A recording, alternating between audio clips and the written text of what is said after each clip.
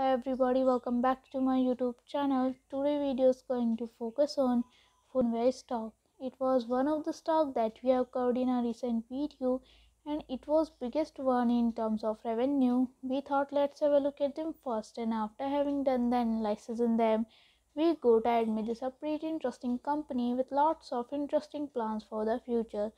They want to grow their business significantly and the different ways that they want to achieve this so we can easily see that the stock was trading at 2.10 US dollar at 0.16 US dollar losses with 7.08% negative loss. In 5 days time frame, the stock was trading at 0.65 US dollar losses with 23.64% negative loss.